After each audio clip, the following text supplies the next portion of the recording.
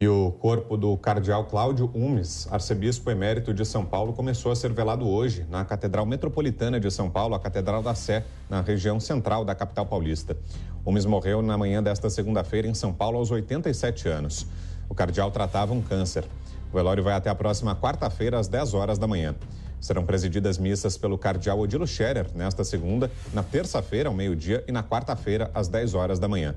O sepultamento acontecerá após a missa da quarta-feira na cripta da Catedral. Franciscano Dom Cláudio, como era conhecido, era um dos arcebispos mais influentes na Santa Sé.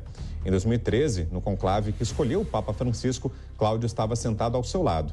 Em entrevista para a imprensa, Jorge Bergoglio revelou que a escolha do nome Francisco foi inspirada por Cláudio.